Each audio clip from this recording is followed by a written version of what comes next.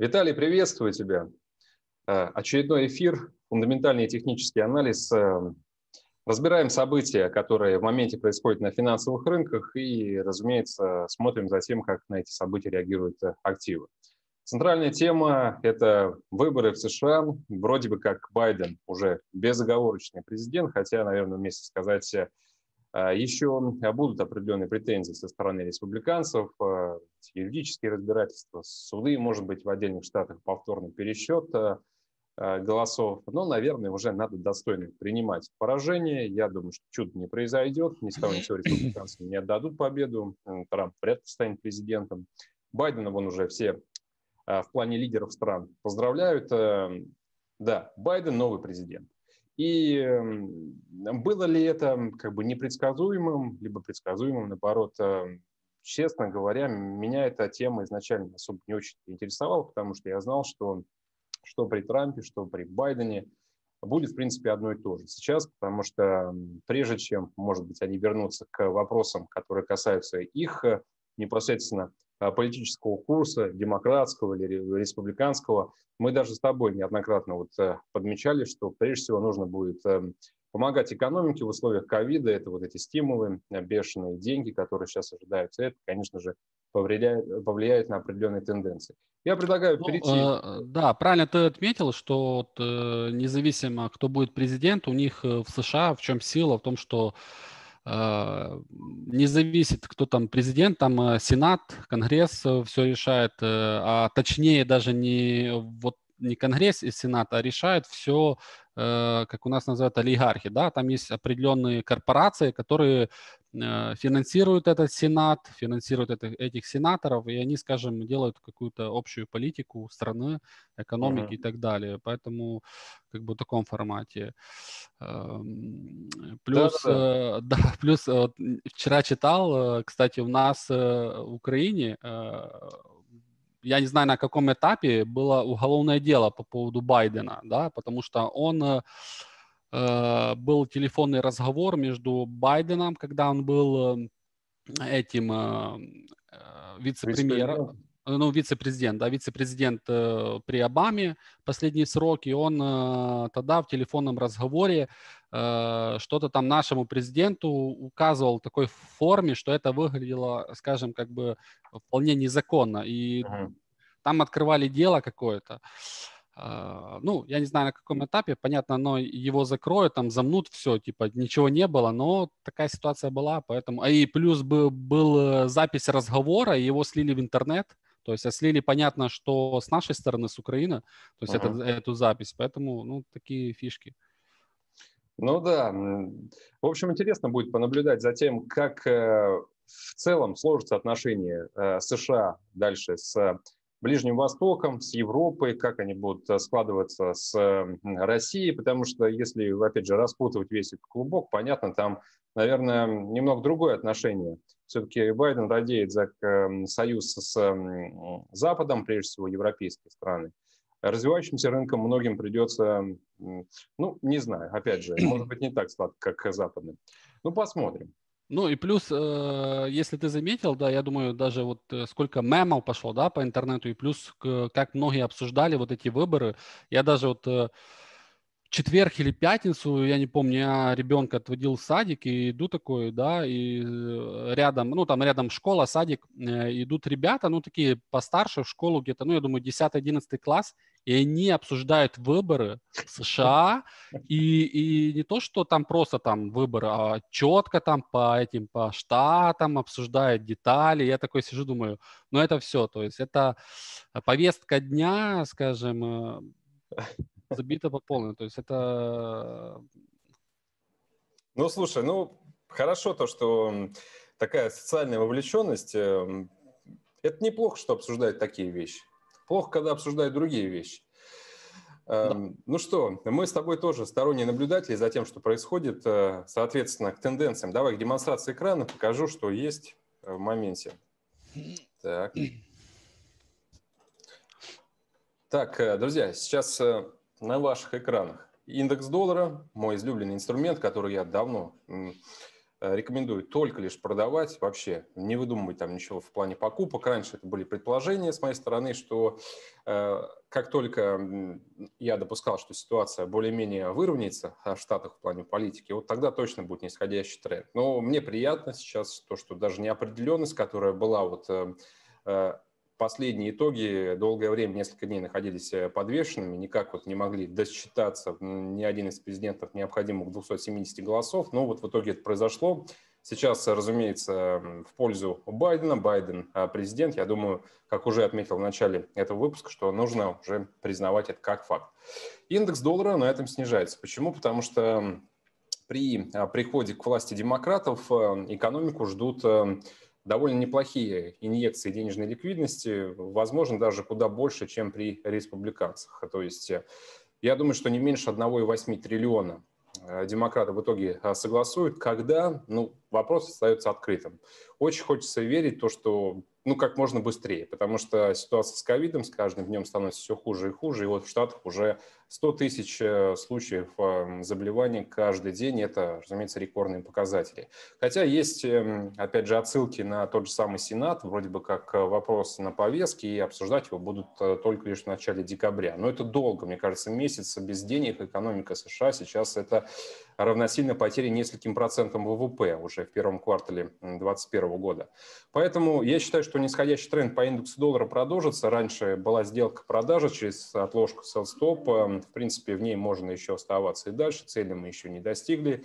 Это движение ниже 92 пунктов. Не стоит опасаться, что какие-то а, при Байдене сейчас начнут э, инициировать э, э, жесткие условия ведения бизнеса для корпоративного сектора, потому что, как отметил Виталий, действительно президент – это президент, а есть еще такое понятие, как Конгресс. И вот в Сенате там сейчас республиканцы как раз. То есть э, никаких э, реформ в плане роста налогов, э, скорее всего, республиканцы не позволят пройти этим изменениям, поэтому каких-то рисков при Байдене я вообще не вижу.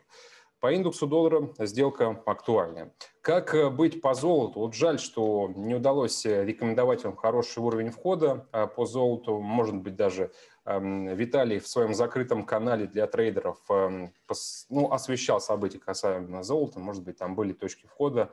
Потому что помню, что Виталий очень неплохо удается вот, эм, работать с этим активом в последние э, месяцы.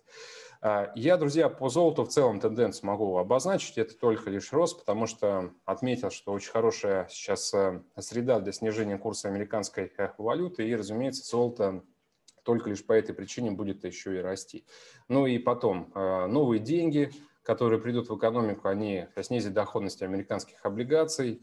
При снижении доходности американских облигаций реальная доходность американского рынка долга будет снова стремиться к нулю или даже залазить на отрицательную территорию. Как только при соотношении этих активов возникают такие перевесы в мировой экономике, всегда золото растет. Ну, то есть вообще не было никогда а, прецедентов в истории, когда при отрицательной доходности, реальной доходности американского рынка долга золото не росло. Я думаю, что ничего не изменится сейчас, поэтому золото оправданно растет. Раньше я цели также, эм, по-моему, комментировал от Сити, то, что они а по факту недели выборов ожидали 1950. Ребят прекрасно отработали а в плане своего прогноза. Действительно, мы увидели на прошлой неделе 1950. А следующая цель – это как тенденция. Это не идея вот сейчас прям заходить. Э, я просто обозначаю э, уровень, до которого может золото дойти, и считаю, что рынок э, интересен для долгосрочно ориентированных трейдеров.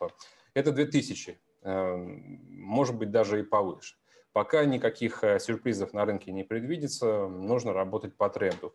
И что касается сегодняшней идеи, Виталий, ты знаешь, э, я вот смотрю на рынок, э, ну, Нервозный он, конечно же, безусловно. В целом я рекомендую продавать доллары, соответственно, покупать все, что имеет отношение к риску. Но вот единственное исключение – это вот только фунт. Вот ну никак я не могу его купить из-за ситуации с Брекзитом, из-за вот этого общенационального локдауна, который, в принципе, точно такой же, ну, практически такой же по жесткости, как мы видели в начале 2020 года. Постоянный рост количества заболевших, уже все, кому не лень, рецессию страшенную просто прогнозируют британской экономики. На прошлой неделе Банк Англии увеличил программу количественного смягчения, потому что понимает, что ждет а, английскую экономику. Вот жаль, что не снизили ставку на отрицательную территорию. Ну, я думаю, что это решение уже декабрьская. Я считаю, что несколько как бы сейчас опрометчиво покупать фунт только потому, что снижается доллар. Ну да, это самая, самая, наверное, простая идея, которую можно сейчас дать. То есть фунт тоже покупать, как и все остальные рисковые инструменты. Но я все-таки попробую сейчас рискнуть пойти против вот этого очевидного тренда, который я также прекрасно осознаю и понимаю, что фунт, скорее всего, будет расти так же, как и евро, как и австралиец. Но такого как бы национального негатива, как в Англии, сейчас нету в других регионах.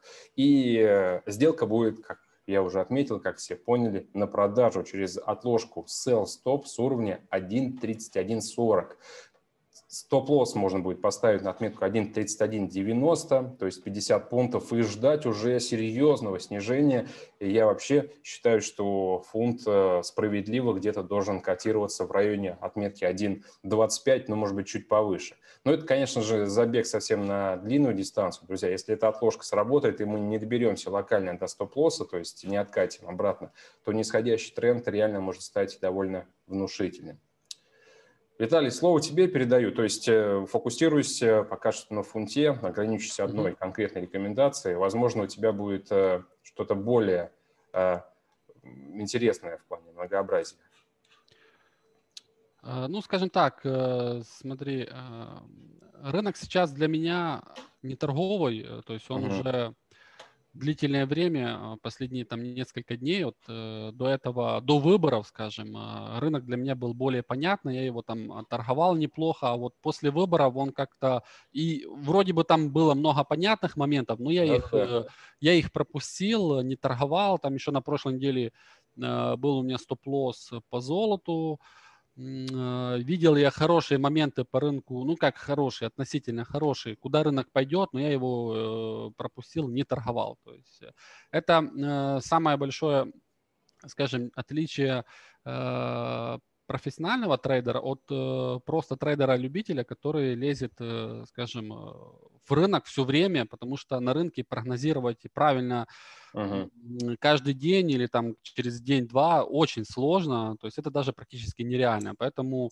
последние дни я сугубо сугубо наблюдая за рынком, какие-то идеи пытаюсь что-то там предугадать, но оно все эм, так ну, я предупреждаю своих ребят, что оно имеет очень э, низкий низкую вероятность отработки. А, итак, что у нас было э, в прошлый раз, когда мы с тобой встречались в среду? Да, да. А, да, аналогично я говорил, вот э, тоже так была у меня такая идея, такой смарт-контракт, да, как у меня бывает иногда, когда нету чего-то конкретного или непонятно, я ждал закрытия среды. Говорил, что если у нас эм, в среду закроется победой, скажем, а, основных валют против доллара, то мы работаем дальше в сторону ослабления доллара. Если наоборот, то мы работаем в другую сторону, скажем, в рост доллара. Э, по факту среда, вот, вот, вот это э, бар, получается, или свеча, кто что торгует, она закрылась по по бычьему, да, то есть с поджатием наверх. Если бы она закрылась внизу, красная, сильно красная, сказал по минимумах, то здесь бы я рассматривал шорт. Она закрылась вверх, аналогично у нас закрылся индекс э, доллара по медвежьему, значит мы рассматривали только, скажем, э, снижение ага. индекса доллара, аналогично было по доллар-франку, дневка вот закрылась по. Поэтому те идеи, которые я озвучивал по смарт-контракту, эм, как закроется дневка и дальше, возможно, торговать четверг, пятница, э, возможно, было. Аналогично было по э, золоту. Какой у меня был комментарий. Так, сейчас, сейчас, пусть пропадет вот эта штучка. Говорил, если золото закроется аналогично с поджатием, то есть его будут выкупать под конец э, дня, то, скорее всего, пойдет наверх. Если вниз, то будут ломать э, вот этот локальный тренд, который наверх вот за последние дни. Поэтому вот такая ситуация. Э, в принципе, это все отработалось. Я лично сам это не торговал. Э, скажем, как-то вот такие, такие моменты произошли на рынке, что я пропустил вот это все движение. Но э, идея отработалась правильно. Дальше, по поводу твоей идеи на рост индекса доллара. Да, возможно, но, скажем, я пока не вижу торговых моментов. Почему? это аналогично, как евро-доллар. Давайте будем они идентичные графики, просто зеркальные. Мы отросли здесь 3 дня, там 3-4 дня получается роста. И Сейчас покупать евро-доллар или шортить текущих индекса, индекс доллара очень сложно, так как э, нам нужно, возможно, какую-то коррекцию. Будет она или не будет, э, это сложно сказать. Да? Если будет хорошая коррекция, допустим, она возможна. Почему? Потому что, как вариант, у нас есть э, дивергенция на часовом там фрейме в шорт по евро-доллару, и может уйти на какую-то коррекцию и дальше, дальше уже присматриваться к покупкам э, вверх по евро там на 1.20, 1.21 и выше, скажем, вот в таком моменте. Аналогично индекс доллара там на снижение э, ниже там в район там 90. Вот, э, потому что сейчас вот, покупать евро-доллара, просто ставить какой-то маленький стоп-лосс, возможно, но это, это рискованно. Поэтому вот такой момент. Э, дальше. А, какую я бы хотел идею а, дать на сегодня? Это шорт крипторынка. Вот если нас кто-то смотрит и торгует э, там рынок криптовалют, все время раньше спрашивали там в комментариях, что вы думаете по крипторынку. Он, конечно, неплохо вырос, немножко удивил, но если взять э, со всего рынка, как крипто, там биткоин, э, эфир, э, там лоткоин и другие, то биткоин только вот такие максимум показал, то, что я смотрел. Поэтому предлагаю сейчас, есть неплохой паттерн, конечно, он не самый сильный, контртренд, у нас сейчас достаточно сильный тренд по биткоину вверх, э, с текущих зайти в шорт, то есть это у нас текущая цена, это 15 тысяч, там, 270 долларов, там, плюс-минус кто где будет смотреть запись, стоп-лосс закинуть за хай, то есть это 16 тысяч. И здесь э, не исключаю э, сильного снижения по биткоину а, вниз. Это может быть как очень-очень сильное снижение, достаточно сильное, так и просто будет коррекция где-то в район там 13 э, тысяч плюс-минус, и потом дальше рост. Uh-huh. Поэтому можно зашортить, а там уже часть скинуть потом, если мы уйдем вниз, и подождать без убытки с надеждой на то, что у нас э, пойдет сильная коррекция в район э, снова там э, 4-5 тысяч долларов. Поэтому такое возможно, если это все идет у нас э, коррекционное движение э, по рынку э, вот в таком формате и дальше кто там, допустим, э, биткоин э, или эфир торгует на данный момент, или Ripple, или там Litecoin, или другие, мне кажется, они тоже смотрятся в шорт, поэтому э, рассматриваем шорты, только шорты, со стоп-лоссами обязательно риск, потому что в любой момент мы можем там улететь и потом там в, люб, в любую зону там по 20, по 50 тысяч, как сейчас снова возобновился прогнозы. Э, я пока в это не верю, но смотрю на картину, она показывает шорт, а там уже посмотрим. Так, ну понял. Хорошо то, что у нас э, в этот раз удалось с тобой э, действительно разобрать активы разных секторов. По фондовому рынку, точнее по рынку криптовалют, в принципе, согласен с тобой, считаю, что очень высоко его задрали биткоин, и, наверное, сдуть бы его сейчас не мешало бы. Интереснее сейчас смотрится фондовый рынок. Ну, что, Мудрик, можно поработать с более традиционными финансовыми активами. Да. И... Ну, фондовый рынок, да, сейчас он в тренде сильном. Я думаю, что мы дальше будем обновлять э, новые исторические хаи. Конечно, да. возможно, после каких-то коррекций, потому что мы уже э, аналогично, как и по евро, там э, картинка, там 3-4 дня уже или 5 роста, возможно, какая-то коррекция. Конечно, может без коррекции просто улетать наверх, но я такое не торгую просто. Угу. Там. Виталий, Спасибо тебе большое. Тогда удачных э, тебе торговых э, будней. Соответственно, следующий эфир э, в среду. Будем снова разбирать самые актуальные возможности. Посмотрим в очередной раз на индекс доллара, на золото, ну и, разумеется, на рынок криптовалют. Спасибо. Все, пока. пока.